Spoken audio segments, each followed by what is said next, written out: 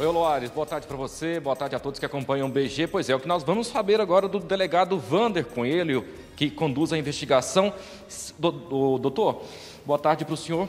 O Loares está com a dúvida, eu acho que muita gente tem essa dúvida. Na oitiva, no depoimento, o nome dele é Vanderson ou o Anderson? O que, que ele disse para a polícia? É, inicialmente tem sido boa tarde, boa tarde, Leonardo, boa tarde, Loares. Inicialmente ele tem sido tratado aí como Anderson, né? ele próprio se intitula. É, não, não, era a maior das preocupações, mas de fato tem, tem surgido aí essa dúvida mesmo. Então é o Anderson. Isso. Doutor, como é que está a investigação agora? Ele continua preso, está no núcleo de custódia, deve passar por uma audiência. Por enquanto, tem a prisão temporária de 30 dias decretada. Como é que está a investigação? Correto. É, ele se encontra no núcleo de custódia, como eu disse ontem, é, no sábado ainda, na verdade, é, ele vai ser levado pela Polícia Penal, vai ter todo esse agendamento de audiência de custódia junto ao Poder Judiciário. Né, é a Polícia Penal quem vai cuidar dessa situação, é, se ela vai acontecer por videoconferência, de maneira presencial. Mas a, a prisão é uma prisão temporária, inicialmente com duração de 30 dias, né, que é o prazo que nós temos para finalização do inquérito policial. Havendo necessidade, é possível que a autoridade policial solicite prorrogação por mais 30 dias para que essa investigação seja concluída, com juntada de lados periciais, né, todos os documentos que ainda precisam ser né, trazidos para dentro dos autos para poder ter uma investigação bem feita.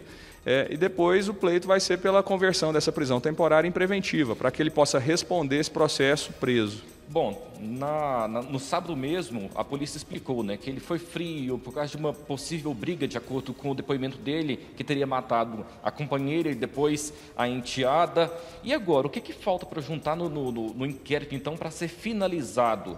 São é, perícias, por exemplo, quebras de sigilo telefônico, o que, que é? Sim, é, como nós dissemos, foi um crime que, na verdade, ele já tinha autoria definida desde o momento em que ele aconteceu, considerando que houve ali uma vítima sobrevivente, ela prestou depoimento, informou e reconhecia o Anderson como sendo o autor desses crimes. Né? Então, a, a, preocupação maior inicial era a captura do suspeito.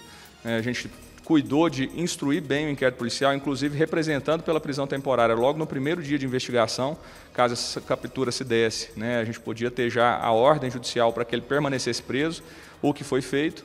E agora nós temos que formalizar o inquérito policial, justamente com juntada de laudos, né, os objetos que foram apreendidos com ele, como arma de fogo, Aparelho celular serão submetidos à perícia né, para a extração do conteúdo que tem ali no telefone, verificar se isso vai trazer alguma informação pertinente para a investigação, verificar se a arma de fogo, ele afirma que é a arma utilizada para matar né, o Roberto também atirar contra a, a, vítima Cristina, mas a gente tem agora que verificar isso de maneira formal, né, a arma ser, ser, passada por perícia. Então tudo isso vai ser feito nesses dias agora. O Loares tem uma pergunta do estúdio, pois não, Loares? Ah, Léo, durante o depoimento ele admitiu, inclusive, o latrocínio, admitiu ter matado um taxista em Minas Gerais. É, esse crime constava na ficha dele ou foi uma surpresa para a polícia também?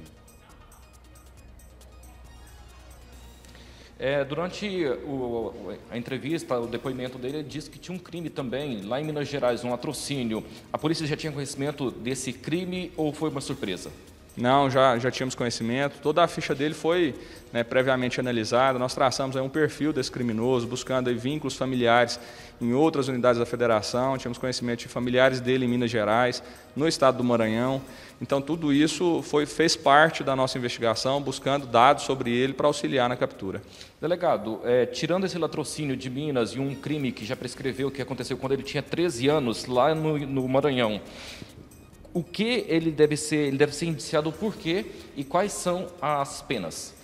É, ele agora, as condutas investigadas atualmente, existe esse duplo feminicídio em relação à companheira e à enteada, um aborto, uma vez que ele sabia que a companheira dele estava gestante, acompanhava essa gestação, e inclusive pode ser filho dele, né? A gente ainda não tem essa, essa informação de maneira formal, né? Pelo vínculo de relacionamento deles é pequeno, talvez não seja, mas isso vai ser analisado é, existem ali os dois latrocínios, sendo um consumado e outro tentado, e ainda também uma tentativa de estupro. Então, todas essas questões, né, se nós somarmos aí as penas possíveis, penas máximas desses delitos, a gente aproximaria de uma pena de 160 anos, caso ele fosse condenado em penas máximas. Né? Então, é assim, passa de 100 anos, a possibilidade de penas para esse indivíduo são condutas realmente muito graves.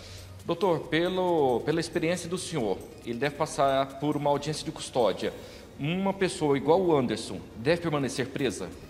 Ah, acredito que sim, né? É, cabe ao Poder Judiciário essa análise, mas por tudo que nós investigamos, do histórico dele de criminalidade, né, as condutas que foram praticadas por ele nesse último final de semana, é um indivíduo que, se for colocado em liberdade, ele põe em risco a sociedade. Então, para garantia da ordem pública, é necessário que ele permaneça preso.